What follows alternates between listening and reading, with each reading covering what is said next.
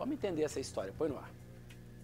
A cobra foi encontrada em um amontoado de madeiras em um sítio na zona rural de Boa Esperança. De acordo com os militares, a jiboia de um metro e meio estava comendo galinhas da propriedade e, quando foi encontrada, estava em processo de digestão e ao lado de uma das galinhas mortas.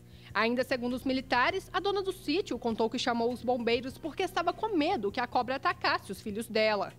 A jiboia foi capturada sem metros e solta em um local de mata, longe das casas.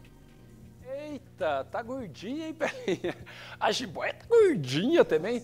Depois, fazer a dieta. Depois de comer uma galinha inteira também, olha ali o que chamou a atenção, claro, do proprietário ali do sítio. E ela não consegue, gente, rastejar para muito longe, né? Eu acredito, eu não sou um, um entendedor de jiboias, mas eu acredito que depois dela comer uma galinha inteira, dificilmente ela vai conseguir ali rastejar para muito longe, viu, gente? Dificilmente ela vai conseguir rastejar para muito longe. E ali ela está no processo de digestão. O que, que é isso? Ela engole esse animal e dali ela começa a quebrar os ossos. Tem todo um trabalho feito pelo organismo ali da galinha para que ela possa digerir, da, da cobra, para que ela possa digerir esse animal. Olha, eu nunca tinha visto. É a primeira vez que